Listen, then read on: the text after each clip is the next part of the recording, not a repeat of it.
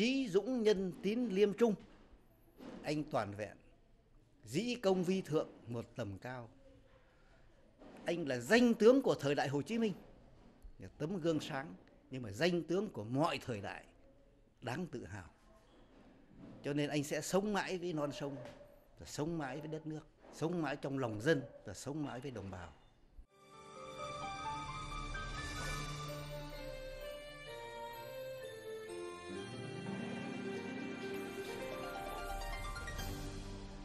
Xứng danh người anh thà trọn cuộc đời vì nước vì dân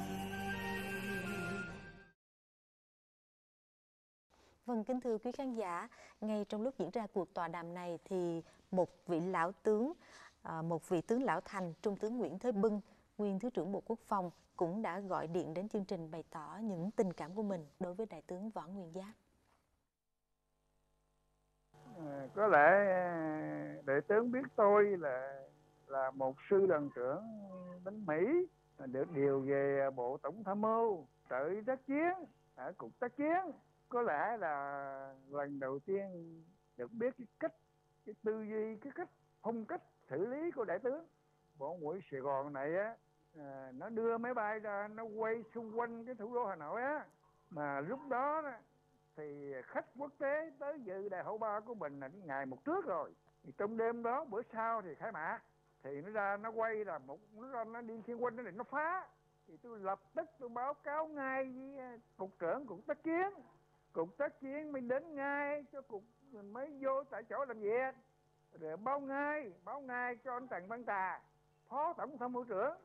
Lúc đó ông đang trực ông báo luôn cho đại tướng. Đại tướng có mặt tức thì có lẽ là cái sẵn sàng chiến đấu của quân đội của bộ tổng tham mưu của bộ quốc phòng nó nghiêm túc lắm nhất Dạ. là vấn đề chiến đấu sẵn sàng chiến đấu.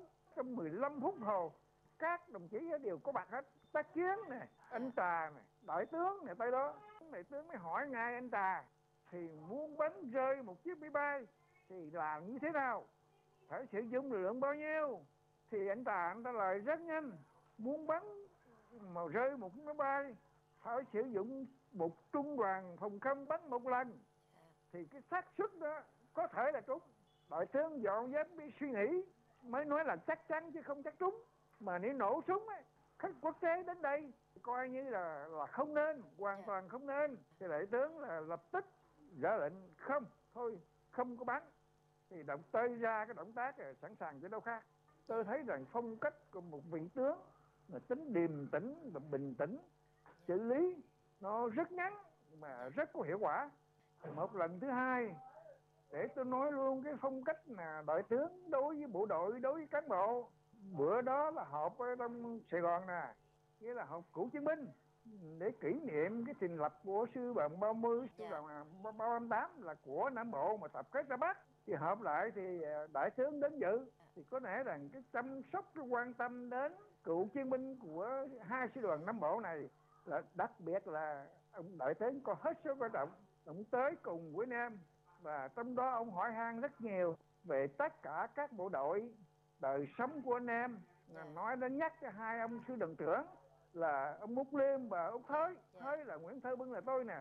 Liêm là ông Bùi Thanh Dân. Là ông nói rằng ừ, một cái một cái chiến trường mà nó hết sức gây go mà xa trung ương mà trong những ban đầu chiến đấu đánh giặc hết sức là là là kiên cường. Thì đại, đại, đại tướng động viên dữ lắm.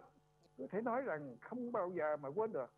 Mà biết rằng là quy lịch sinh lão bệnh tử đó là, là tất yếu. Thế nhưng mà tại làm sao nó nó, như là, tướng ra đi hình như trong người nó thiếu cái gì đấy? Nghĩ tới ngay và lật lại trong sổ tay của mình những hình ảnh mà đội tướng đã tặng cho tôi. Cái sách nào ký tên rồi hình ảnh chụp chung mà tôi lật hết tôi quay cả giờ đồng hồ cứ ngủ. Tôi nghĩ rằng là là một là một cái vị một cái tướng cốt tài của quân đội ta một người học trò xuất sắc của bác hồ. Nhưng mà thế giới nó khen á, tự hào biết bao không có một vị tướng nào như tướng Võ Văn Đáp mà thế giới kinh phục cho dân tộc mình cho quân đội mình để đứng ra đi. Nhưng mà hình ảnh đại tướng để lại cho đất nước Việt Nam này biết bao nhiêu là kỹ là sâu sắc. Các thế hệ trẻ nhất là quân đội học tập một cái gương hết sức tốt đẹp như thế để mà bồi dưỡng khí thế của một dân tộc anh hùng mà tiêu biểu là trong quân đội là đại tướng Võ Nguyên Giáp. Vâng, à, thưa quý khán giả, thưa Trung tướng Phạm Văn Dĩ, vừa rồi chúng ta đã nghe ý kiến của một số cựu chiến binh, trong đó có à, Trung tướng Nguyễn Thế Bưng, đặc biệt là yêu mến và kính phục ngưỡng mộ đại tướng Võ Nguyên Giáp. À, xin ông có thể cho biết vì sao các cựu chiến binh và nhân dân đặc biệt yêu mến vị đại tướng này ạ? À? Ồ. Trong người Nam ta có cái câu rất là đơn giản, rất một mạc là cạn sòng mới biết lóc trê. Cựu chiến binh là những người mà đã trải cái thân của mình qua qua chiến đấu, qua trận mạc. Và đó là cái môi trường thử thách quyết liệt nhất. Ở đó tất cả mọi cái phẩm chất con người ta nó được thử thách, nó được phơi bày, nó được kiểm đếm, nó được bộc lộ ra. Thành ra chính cái sự từng trải ấy người ta mới hiểu ra cái tấm gương đạo đức của Vũ Nguyên Giáp như thế nào. Bởi vì bản thân đại tướng Vũ Nguyên Giáp không phải chỉ là một người từng trải mà còn là một người anh, là một người thầy, là một cái người tổng chỉ huy của mình. Và bất kỳ ai mà được làm cái người lính của đại tướng Vũ Nguyên Giáp thì cũng đều tự hào rằng mình được chỉ huy bởi một cái vị tổng tư lệnh mà tài trọng đức dài như vậy. Cho nên cái tình cảm đó là tình cảm đương nhiên. Và không phải chỉ riêng Trung tướng Nguyễn Thứ Binh hay là Trung tướng Hồng Cư mà tất cả những cái người uh, dù cùng thời gặp thí dụ như cụ tôi Văn Cấm mà đang sống ở Đà Tẻ Lao động hiện nay hai người đã gặp nhau ôm nhau trao quà cho nhau và tôi nhớ là không rõ năm 71 hay năm 72 khi mà tiễn một cái đoàn quân ra trận đại tướng hỏi một người lính là đồng chí được bao nhiêu tuổi?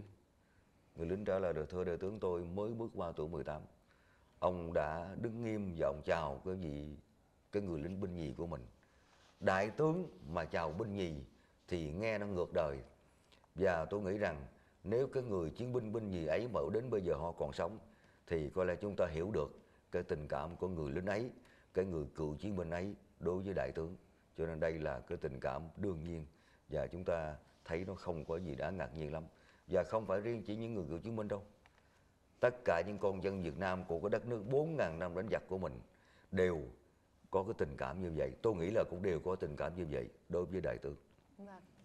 Thưa quý khán giả, những ngày này chúng ta có thể thấy mọi người dân Đồng Nai cũng như cả nước đang xúc động bày tỏ tình cảm yêu mến, kính trọng và vô cùng thương tiếc trước sự ra đi của đại tướng.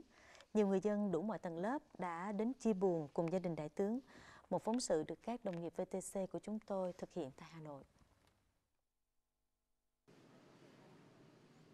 8 giờ sáng, ngôi nhà số 30 Hoàng Diệu, nơi đại tướng Võ Nguyên Giáp sinh sống hơn 50 năm qua. Rất nhiều người đã về đây chờ được vào thắp hương cho đại tướng. Mỗi người có những tâm trạng và cảm xúc khác nhau. Thực sự em cảm thấy là rất buồn tại vì đối với cái thế thế hệ bọn em ấy thì à, uh, Bắc Giáp là gọi là tượng đài của cuối cùng uh, gọi là tượng, tượng đài sống cuối cùng. Mà em thì rất yêu thích à, cái lịch sử Việt Nam mình mà trong đó là Bác Hồ và Bác Giáp là hai cái người em rất yêu quý. Mà khi nghe cái tin này thì thực sự là em thực sự là cảm giác là nó rất có cảm giác mình giống mất mất, mất mát rất lớn. Thì uh, khi mà nghe cái tin đấy thì em cảm thấy nó, mình cảm giác trống rỗng. Chúng tôi là người những người thế hệ từ Điện Biên Phủ cho nên là công ơn của bác Hồ của Võ Nguyên Giáp. Đại tướng Võ Nguyên Giáp thì thấm sâu từ lúc chúng tôi là thanh niên còn rất trẻ và rất yêu mến các vị lãnh tụ của mình.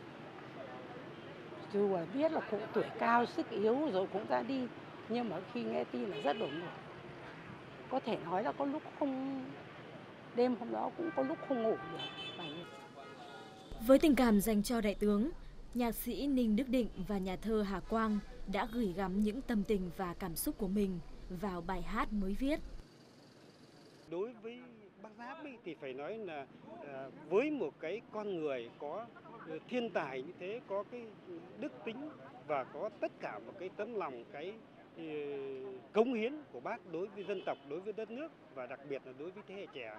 Cho nên là trong cái tâm tư của mình là muốn suy nghĩ là viết như thế nào đó với cái ca khúc thể hiện được ờ, đầy đủ thể hiện được tất cả những cái tinh hoa những cái phẩm chất những cái, cái tài thao lược về quân đội cũng như là các cái mặt trong tình cảm của bác đối với đất nước đối với dân tộc đối với con người tôi xuất phát từ cái quý mến thôi cái quý mến cái cái đức độ và cái tài năng của đại tướng thôi. Thế nhưng mà tôi lại khi mà tôi cũng đọc nhiều đọc nhiều cái cái cái, cái các vị danh tướng của thế giới cho tới đại tướng Vân Giáp là người đặc biệt. Ca khúc của tôi thì khái quát toàn bộ. Một cái đoạn thứ nhất là nói về điện biên phủ thắng điện đoạn thứ hai thì nói về cái chiến thắng miền Nam. Cái đoạn thứ ba thì tôi viết về cái lễ tang của đại tướng võ nguyên giáp. Lễ tang nghệ thuật người ta gọi là hoạt cảnh nghệ thuật.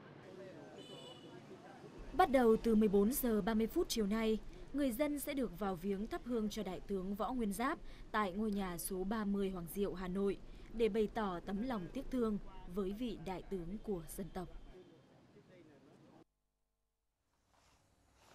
Vâng, không chỉ cả dân tộc Việt Nam bày tỏ niềm tiếc thương trước sự ra đi của đại tướng mà báo chí thế giới cũng rất quan tâm và có những ý kiến đánh giá cao về cuộc đời và sự nghiệp của đại tướng.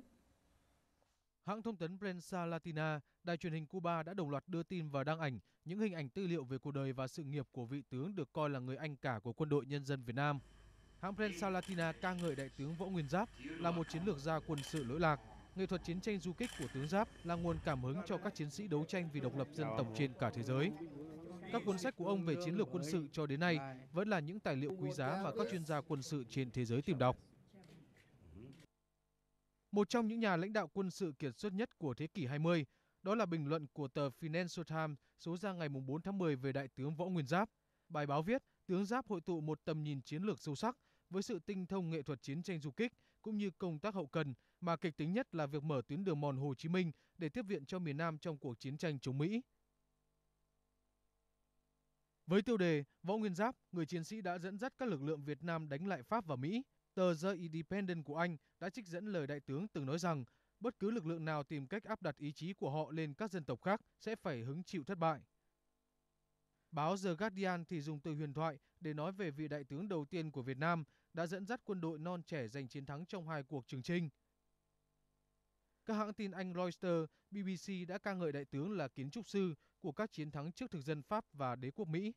Reuters trích lời tướng Giáp từng nói, đầu hàng không có trong từ vựng của tôi. Bất kỳ cuộc đấu tranh quân sự nào vì tự do cũng có năng lượng sáng tạo để đạt được những điều mà kẻ địch không bao giờ có thể ngờ hoặc có thể tưởng tượng được. Với tiêu đề vị tướng huyền thoại Võ Nguyên Giáp qua đời ở tuổi 102, hãng tin AP của Mỹ mô tả tướng Giáp là một nhà chỉ huy quân sự tài ba, một người anh hùng dân tộc, từng đánh thắng cả người Pháp và người Mỹ. Tờ Washington Post bình luận, cùng với Chủ tịch Hồ Chí Minh và cố Thủ tướng Phạm Văn Đồng, tướng Giáp được người Việt Nam tôn kính như một trong những người sáng lập ra đất nước. Tờ Thời báo New York thì viết, tướng Giáp là một người rất lôi cuốn và hoạt bát, một nhà quân sự uyên bác và một người theo chủ nghĩa dân tộc quyết liệt. Ông có thể dùng sức hút của bản thân để lên tinh thần cho quân sĩ, làm bùng cháy trong họ sự sẵn sàng cống hiến cho đất nước. Ngày 4 tháng 10, Thượng nghị sĩ John McCain viết trên trang mạng cá nhân, tướng Võ Nguyên Giáp đã qua đời. Ông là một chiến lược gia quân sự tài ba từng nói với tôi rằng chúng ta là những kẻ thù danh dự. Cùng ngày, các tờ báo lớn của Nhật Bản, hãng thông tấn Kyodo, Jiji Press, đài truyền hình NHK đều đồng loạt đưa tin về sự ra đi của đại tướng Võ Nguyên Giáp và ca ngợi ông là một anh hùng dân tộc, một nhà chiến lược kiệt xuất đã lãnh đạo nhân dân Việt Nam giành chiến thắng lẫy lừng trước thực dân Pháp và đế quốc Mỹ. Nhiều tờ báo khác ở các nước châu Âu như tờ Thời Đại, Tấm Gương, nước Đức mới của Đức hay các tờ Corriere della Sera, La Stampa của Italia, hãng thông tấn AFP của Pháp cũng đều có bài ca ngợi đại tướng là vị anh hùng dân tộc, một nhân vật huyền thoại với nghệ thuật quân sự kiệt xuất và danh tiếng của ông đã vượt ra ngoài đường biên giới Việt Nam. Vâng, thưa quý khán giả, thuở sinh thời và ngay cả những ngày này khi đại tướng đã qua đời, ngay cả những đối thủ trước kia của ông cũng bày tỏ sự kính trọng ngưỡng mộ đối với đại tướng. Có thể nói đây là một cái điều rất đặc biệt và khác biệt ở đại tướng Võ Nguyên Giáp. Thưa um, Trung tướng Phạm Văn Dĩ, à, ông có thể nói gì về cái điều đặc biệt này ạ? À? Bác Hồ cũng hay dạy chúng ta về cái tương quan giữa tài và đức ở võ nguyên Giáp nó hội đủ hai điều đó mà trước hết là cái đức độ của ông cái phẩm chất sáng ngời của ông mà như tôi đã nói từ ban đầu và khi mà nói cái điều mà gọi là đặc biệt ở ông, thì nó chính là cái sự quán xuyến, cái sự nhất quán trong suốt cuộc đời của ông vì dân, vì nước. Và theo cách ông diễn đạt là vì công vì thượng. Và có lẽ là cái kẻ thù của chúng ta khi mà người ta tiếp cận với đại tướng Dung quân Giáp, từ người ta bất ngờ từ chiến thuật, chiến dịch cho đến chiến lược người ta phải nghĩ là xem đằng sau những cái tài năng quân sự đó là cái gì và khi họ hiểu đó là cái gì thì đó chính là điều bất ngờ đối với họ còn với chúng ta không bất ngờ Vâng. Thưa nhà sử học Nguyễn Khắc Thuần, à, kẻ thù phải à, cúi đầu ngưỡng mộ, kính trọng đại tướng Võ Nguyên Giáp. À, là một nhà sử học thì ông có thể chia sẻ điều gì về vấn đề này ạ? Dạ thưa tất cả quý vị và các bạn. Một người tài giỏi khiến những người ta khâm phục thì người ta ngưỡng mộ. Đó là lẽ tự nhiên. Và cái sự ngưỡng mộ này không phải chỉ dừng lại trong phạm vi những người cùng phe cánh, cùng đồng đội mà có khi cả đối phương của mình nữa.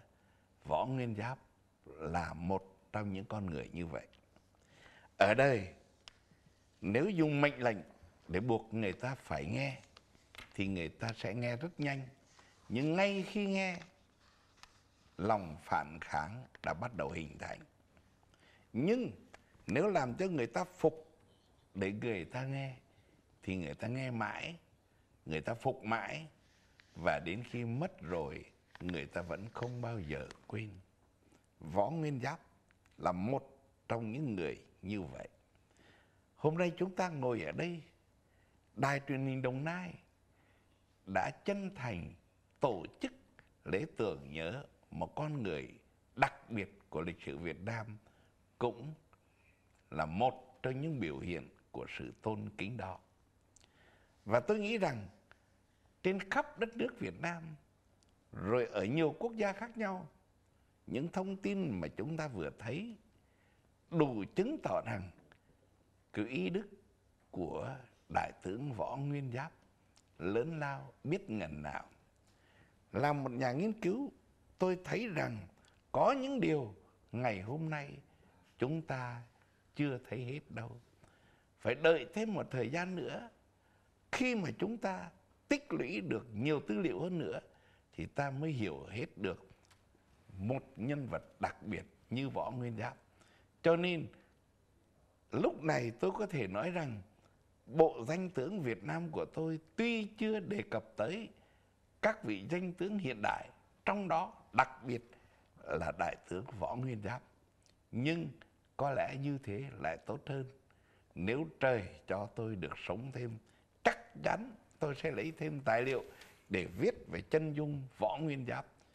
Như tất cả những gì mà chúng tôi đã biết và những gì chúng tôi có thể quy tụ được từ sự hiểu biết của nhiều người khác, đặc biệt là những vị tướng trong quân đội nhân dân Việt Nam. Vâng. Và cũng mong rằng trong một ngày gần đây thì độc giả sẽ đọc được những cái trang sách, cái công trình nghiên cứu của nhà sử học à, Nguyễn Khắc Thuần à, liên quan đến cuộc đời và sự nghiệp của đại tướng Võ Nguyên Giáp. Thưa quý khán giả, à, thông qua số điện thoại 0613916726 chúng tôi tiếp tục nhận được cuộc gọi của khán giả gọi đến. mất của đại tướng nó lớn lao quá và chỉ mong sao là anh em lấy giới giới trẻ bây giờ á cái thế hệ mà 7x 6 8x chiến x làm sao mà nuôi gương được thôi làm sao mà sống được theo cái gương của bác giáp ấy cho người ta nó sống nó đàng hoàng cho cái Việt Nam nó vì một Việt Nam nó phát triển tôi cũng à, là à, cựu chiến binh của cục hậu cần quân khu 9 này Thì, à, tôi cũng có tham gia chiến dịch Hồ Chí Minh. Này, sau này à, tôi chuyển về thành phố Hồ Chí Minh phát thì à, bao nhiêu năm à, nay từ ngày giải phóng đến giờ đó thì tôi đi qua à, cái tượng đài của à, Trần Hưng Đạo ở bến Bạch Đằng á ở thành phố Hồ Chí Minh. Nhưng mà tôi rất ngưỡng mộ đại tướng Võ, Võ Nguyên Giáp. Nhưng mà tôi sống ở thành phố Hồ Chí Minh bao nhiêu năm ở trên cái đi qua cái đường Điện Biên Phủ bao nhiêu năm nhưng mà tôi vẫn ờ, có một cái ý tưởng là tại sao ở ngã tư Hàng Xanh có cái cái cái cái cái cái, cái đường Điện Biên Phủ lại không chưa tạc tượng ờ, võ nguyên giáp được. Nên là tôi cũng cũng có ờ, à, tha ý kiến là với đài rằng là à, ý quyền của tôi là là là muốn xin tạc tượng à, đại tướng võ nguyên giáp ở ngã tư hàng xanh đấy anh? Vâng, à, nhân cái ý kiến chia sẻ của vị khán giả vừa rồi thì xin mời à, nhà sư học Nguyễn Khắc Thuần ạ. À, thưa tất cả quý vị và các bạn, ngay khi Đại tướng Võ Nguyên Giáp vừa vĩnh biệt chúng ta, thì thủ đô Hà Nội đã nêu nguyện vọng là sẽ có tên đường Võ Nguyên Giáp. Tôi là ủy viên thường trực của hội đồng đặt tên đường và tôi nghĩ rằng chắc chắn thành phố Hồ Chí Minh cũng sẽ có đường phố Võ Nguyên Giáp. Trước đây thì theo dự kiến cũ, đường Điện Biên Phủ có một đoạn để cho số lộn xộn chưa có thay đổi. Vì sao? Vì nói tới Võ Nguyên Giáp là nói tới Điện Biên Phủ cho nên hội đồng đặt tên đường có ý định dành một đoạn rất trang trọng nối liền với Điện Biên Phủ để đặt tên Võ Nguyên Giáp. Tất nhiên đó là ý định trước đây. Còn bây giờ có nhiều đường phố mới được mở ra, quyết định mới như thế nào thì đây lại là của Hội đồng Nhân dân.